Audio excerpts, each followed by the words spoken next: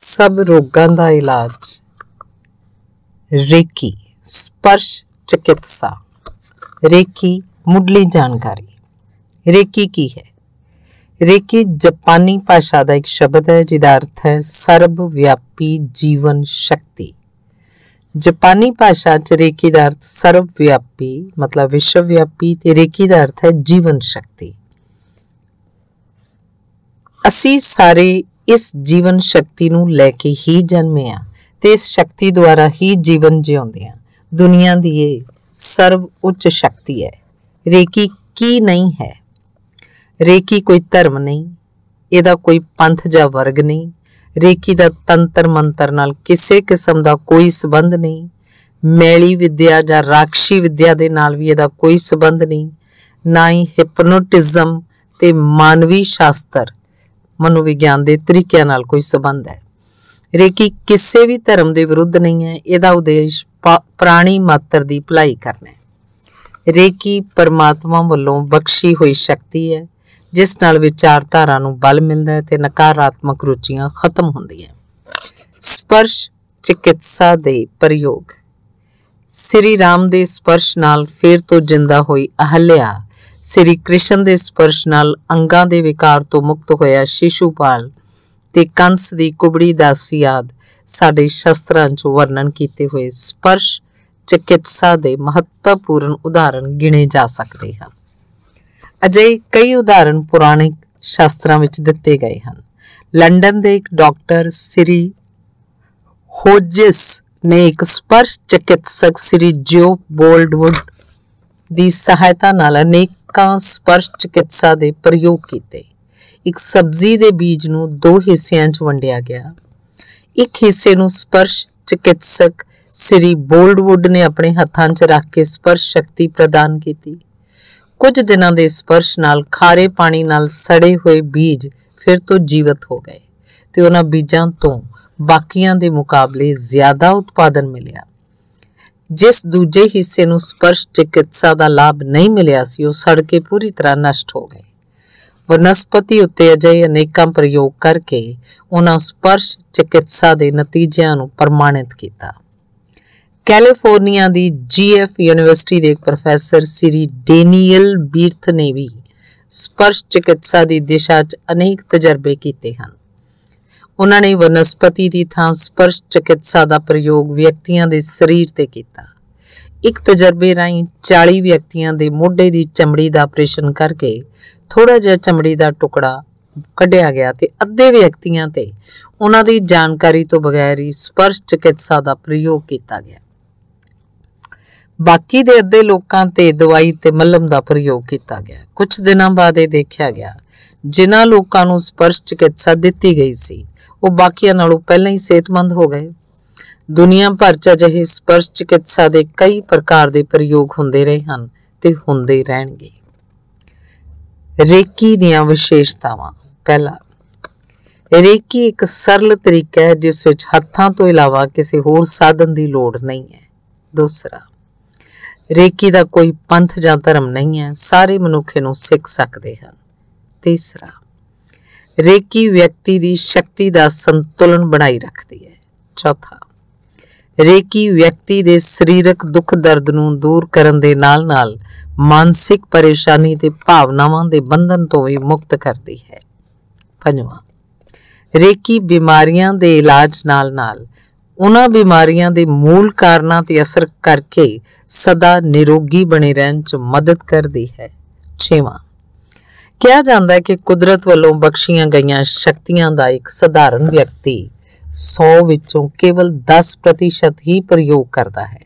ਇਸ ਤੋਂ ਵੱਧ ਨਹੀਂ, ਰੇਕੀ ਦੁਆਰਾ ਉਹਨਾਂ ਕੁਦਰਤੀ ਸ਼ਕਤੀਆਂ ਵਿੱਚ ਵਾਧਾ ਹੁੰਦਾ ਹੈ।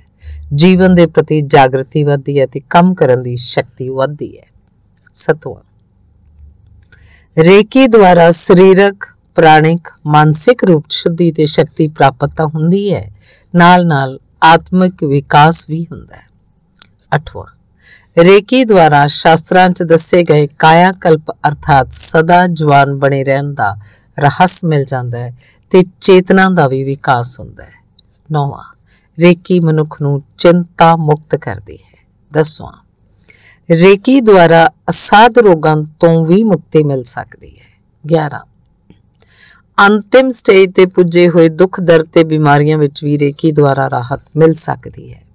12ਵਾਂ ਰੇਕੀ ਵਿਦੇ ਨੂੰ ਸਿਰਫ ਰੋਗੀ ਵਿਅਕਤੀ ਨਹੀਂ, ਸਗੋਂ ਤੰਦਰੁਸਤ ਵਿਅਕਤੀ ਵੀ ਸਿੱਖ ਸਕਦਾ ਹੈ। ਇਸ ਨਾਲ ਉਹ ਸਦਾ ਤੰਦਰੁਸਤ ਰਹਿ ਕੇ ਸ਼ਾਂਤੀ ਤੇ ਆਨੰਦ ਦੀ ਵੀ ਪ੍ਰਾਪਤੀ ਕਰ ਸਕਦਾ ਹੈ। 13ਵਾਂ ਰੇਕੀ ਦੁਆਰਾ ਵਿਅਕਤੀ ਨੂੰ ਕੁਦਰਤ ਦਾ ਇੱਕ ਅਨੋਖਾ ਪਿਆਰ ਮਿਲਦਾ ਹੈ, ਜਿਸ ਨਾਲ ਪਿਆਰ ਦੀ ਕਮੀ ਦਾ ਅਹਿਸਾਸ ਦੂਰ ਹੋ ਜਾਂਦਾ ਹੈ। ਇਸ ਤਰ੍ਹਾਂ ਪਿਆਰ ਨਾਲ ਭਰਪੂਰ ਵਿਅਕਤੀ ਨੂੰ ਦੂਸਰੇ ਲੋਕਾਂ 'ਚ ਪਿਆਰ ਵੰਡਣ ਦੀ ਪ੍ਰੇਰਣਾ ਮਿਲਦੀ ਹੈ। 14ਵਾਂ ਰੇਕੀ ਦੀ ਸਭ ਤੋਂ ਵੱਡੀ ਵਿਸ਼ੇਸ਼ਤਾ ਇਹ ਹੈ ਕਿ ਬਗੈਰ ਕਿਸੇ ਦਵਾਈ ਹਰ ਤਰ੍ਹਾਂ ਦੀ ਬਿਮਾਰੀ ਦੇ ਇਲਾਜ ਦੀ ਸੰਭਾਵਨਾ ਹੈ। 15ਵਾਂ ਰੇਕੀ ਨਾਲ ਨਜ਼ਦੀਕ ਬੈਠੇ ਵਿਅਕਤੀ ਦਾ ਸਪਰਸ਼ ਦੁਆਰਾ ਇਲਾਜ ਕੀਤਾ ਜਾਂਦਾ ਹੈ ਤੇ ਇਸ ਦੇ ਨਾਲ ਦੂਰ ਬੈਠੇ ਹੋਏ ਗੈਰ ਹਾਜ਼ਰ ਵਿਅਕਤੀਆਂ ਨੂੰ ਵੀ ਸੰਕਲਪ ਦੁਆਰਾ ਰੇਕੀ ਦੇ ਕੇ ਲਾਭ ਪਹੁੰਚਾਇਆ ਜਾ ਸਕਦਾ ਹੈ। 16ਵਾਂ ਰੇਕੀ ਦਾ ਪ੍ਰਯੋਗ ਵਪਾਰ, ਖੇਤੀਬਾੜੀ ਤੇ ਮਸ਼ੀਨਰੀ ਤੇ ਵੀ ਬਹੁਤ ਲਾਭਦਾਇਕ ਸਿੱਧ ਹੋਇਆ ਰੇਕੀ ਦੁਆਰਾ ਅਸੀਂ ਆਪਣੇ ਵਾਹਨਾਂ, ਘਰਾਂ ਤੇ ਪਰਿਵਾਰਾਂ ਤੇ ਕਿਸੇ ਵੀ ਕੀਮਤੀ ਚੀਜ਼ ਦੀ ਰੱਖਿਆ ਕਰ ਸਕਦੇ ਹਾਂ। 17ਵਾਂ ਸਭ ਤੋਂ ਪਹਿਲਾਂ ਰੇਕੀ ਵਿਧੀ ਵਿੱਚ ਹੈ ਇਹਦੀ ਸਰਲਤਾ। ਸਿਰਫ 2-4 ਦਿਨ ਦੀ ਟ੍ਰੇਨਿੰਗ ਦੁਆਰਾ ਰੇਕੀ ਦਾ ਗਿਆਨ, ਸਿੱਖਿਆ ਤੇ ਅਨੁਭਵ ਦੇ ਅਭਿਆਸ ਦੀ ਲੋੜ ਹੁੰਦੀ ਹੈ। ਹੋਰਨਾਂ 18ਵਾਂ ਹੋਰਨਾਂ ਵਿਧੀਆਂ ਵਿੱਚ ਵਿਸ਼ੇਸ਼ ਪ੍ਰਕਾਰ ਦੀ ਤਿਆਰੀ, ਯੋਗਤਾ ਜਾਂ ਉਮਰ ਦੀ ਜ਼ਰੂਰਤ ਪੈਂਦੀ ਹੈ, ਜਦਕਿ ਰੇਕੀ ਚ ਅਜਿਹਾ ਨਹੀਂ ਹੈ। ਕਿਸੇ ਵੀ ਉਮਰ ਦਾ ਵਿਅਕਤੀ ਕਿਸੇ ਵੀ ਯੋਗਤਾ ਜਾਂ ਘੱਟ ਪੜਿਆ ਲਿਖਿਆ ਹੋਵੇ ਜਾਂ ਵੱਧ ਸਿੱਖਣ ਦੀ ਇੱਛਾ ਹੋਣ ਤੇ ਇਹਨੂੰ ਸਿੱਖ ਸਕਦਾ ਹੈ, ਕਿਉਂਕਿ ਰੇਕੀ ਵਿਧੀ ਦਾ ਆਧਾਰ ਰੇਕੀ ਮਾਸਟਰ ਦੀ ਸ਼ਕਤੀਪਾਤ ਤੇ ਸਿੱਖਿਆ ਹੀ ਹੈ।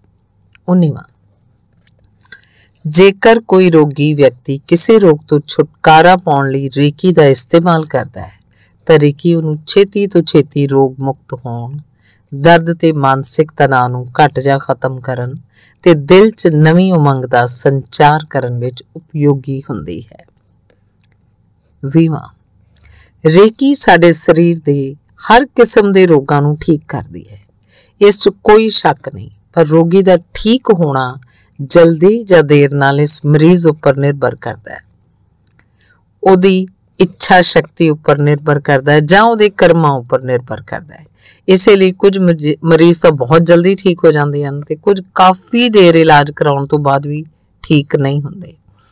ਪਰ 95% ਮਰੀਜ਼ ਸਾਡੇ ਸੈਂਟਰ ਵਿੱਚ ਠੀਕ ਹੋ ਕੇ ਹੀ ਜਾਂਦੇ ਹਨ ਤੇ ਹਜ਼ਾਰਾਂ ਦੀ ਗਿਣਤੀ 'ਚ ਮਰੀਜ਼ ਰੇਕੀ ਸ਼ਕਤੀ ਰਾਹੀਂ ਲਾਭ ਉਠਾ ਰਹੇ ਹਨ। ਰੇਕੀ ਦਾ ਇਤਿਹਾਸ, ਰੇਕੀ ਹੱਥਾਂ ਦੇ ਸਪਰਸ਼ ਰਾਹੀਂ ਤੰਦਰੁਸਤੀ ਤੇ ਨਵਾਂ ਜੀਵਨ ਪ੍ਰਾਪਤ ਕਰਨ ਦੀ ਇੱਕ ਅਦਭੁਤ ਕੁਦਰਤੀ ਤਕਨੀਕ ਹੈ। ਸਾਡੇ ਸ਼ਾਸਤਰਾਂ ਵਿੱਚ ਤੇ ਕਹਾਣੀਆਂ 'ਚ ਅਸੀਂ ਕਈ ਵਾਰੀ ਪੜ੍ਹਦੇ ਤੇ ਸੁਣਦੇ ਆਏ ਹਾਂ ਕਿ ਫਲਾਣੇ ਈਸ਼ਵਰ ਦੇਵ ਜਸ਼ ਸੰਤ ਨੇ ਇਸ ਤਰ੍ਹਾਂ ਹੱਥਾਂ ਦੇ ਸਪਰਸ਼ ਨਾਲ ਕਿਸੇ ਨੂੰ ਰੋਗ ਮੁਕਤ ਕਰ ਦਿੱਤਾ। ਕਿਸੇ ਵਿੱਚ ਨਵੀਂ ਜਾਨ ਫੂਕ ਦਿੱਤੀ ਆਦ। ਰੇਕੀ ਕਿੰਨੇ ਹਜ਼ਾਰ ਸਾਲ ਪੁਰਾਣੀ ਹੈ?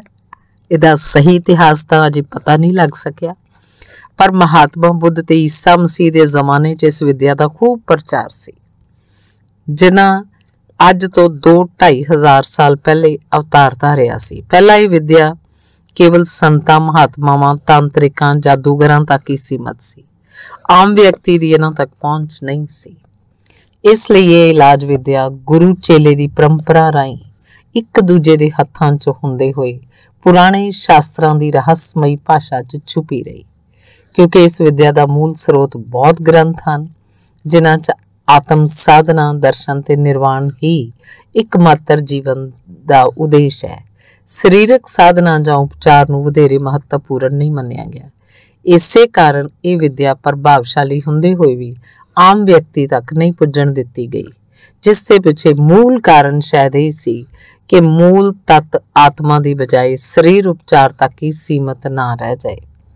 ਦੂਸਰਾ ਕਾਰਨ ਇਹ ਇਹ ਰਿਹਾ ਕਿ ਆਮ ਵਿਅਕਤੀ ਜੋ ਅਧਿਕਤਰ ਅਗਿਆਨੀ ਵਿਵੇਕਹੀਨ ਨਾ ਸਮਝਣ ਦੇ ਹੱਥਾਂ 'ਚ ਜਾ ਕੇ ਇਸ ਵਿਦਿਆ ਦੀ ਦੁਰਵਰਤੋਂ ਜਾਂ ਗਲਤ ਵਰਤੋਂ ਨਾ ਹੋ ਜਾਏ। ਤੀਜਾ ਕਾਰਨ ਸ਼ਾਇਦ ਇਹ ਵੀ ਰਿਹਾ ਹੈ ਕਿ ਤਪਸਵੀ ਤੇ ਮਹਾਤਮਾਵਾਂ ਨੂੰ ਆਪਣੇ ਮਹੱਤਵ ਨੂੰ ਸਦਾ ਬਣਾਈ ਰੱਖਣ ਲਈ ਇਸ ਵਿਦਿਆ ਨੂੰ ਗੁਪਤ ਰੱਖਿਆ। ਜਿਨ੍ਹਾਂ ਨੇ ਬੜੀ ਤਪੱਸਿਆ ਜਾਂ ਸੇਵਾ ਰਾਹੀਂ ਇਹਨੂੰ ਪ੍ਰਾਪਤ ਕੀਤਾ ਸੀ।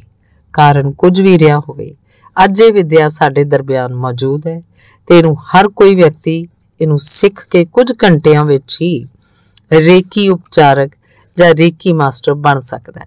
ਜਿਸ ਵਿਦਿਆ ਨੂੰ ਪ੍ਰਾਪਤ ਕਰਨ ਲਈ ਪਹਿਲਾਂ ਮਹਾਤਮਾਵਾਂ ਸੰਤਾਂ ਨੂੰ ਲੰਬੀ ਘੋਰ ਤਪੱਸਿਆ ਕਰਨੀ ਪੈਂਦੀ ਸੀ। ਉਹੀ ਵਿਦਿਆ ਅੱਜ ਸਾਨੂੰ ਥੋੜੇ ਜਿਹੇ ਧਨ, ਸੇਵਾ ਜਾਂ ਥੋੜੀ ਜੀ ਪਿਆਸ ਵਿੱਚ ਆਸਾਨੀ ਨਾਲ ਪ੍ਰਾਪਤ ਹੋ ਰਹੀ ਹੈ। ਇੰਨੀ ਆਸਾਨ ਵੰਡਣਯੋਗ ਕਲਾ ਨੂੰ ਪੁਨਰ ਜੀਵਤ ਕੀਤਾ ਡਾਕਟਰ ਮਿਕਾਓ ਉਸੂਈ ਨੇ। ਇਸ ਵਿਦਿਆ ਨੂੰ ਪੁਨਰ ਜੀਵਤ ਕਰਨ ਤੇ ਇਹਦੀ ਮਹਾਨਤਾ ਨੂੰ ਸਥਾਪਿਤ ਕਰਨ ਦਾ ਸਿਹਰਾ ਉਹਨਾਂ ਨੂੰ ਹੀ ਜਾਂਦਾ ਹੈ, ਜਿਨ੍ਹਾਂ ਦੀ ਮਿਹਨਤ, ਤਪੱਸਿਆ ਦਾ ਫਲ ਅੱਜ ਅਸੀਂ ਸਭ ਖਾ ਰਹੇ ਹਾਂ। ਜੇਕਰ ਡਾਕਟਰ ਉਸੋਈ ਸਾਲਾਂ ਤੱਕ ਖੋਜ ਕਰਕੇ ਆਪਣੇ ਵਰਤਾਂ ਤੇ ਧਿਆਨ ਦੁਆਰਾ ਇਸ ਵਿਦਿਆ ਨੂੰ ਪ੍ਰਾਪਤ ਨਾ ਕਰਦੇ, ਤਾਂ ਸ਼ਾਇਦ ਇਹ ਰੇਕੀ ਵਿਦਿਆ ਇਸੇ ਤਰ੍ਹਾਂ ਸਾਡੇ ਸ਼ਾਸਤਰਾਂ 'ਚ ਛੁਪੀ ਰਹਿ ਜਾਂਦੀ ਤੇ ਸਧਾਰਨ ਵਿਅਕਤੀ ਤੱਕ ਕਦੀ ਵੀ ਨਾ ਪਹੁੰਚ ਸਕਦੀ। ਧੰਨਵਾਦ।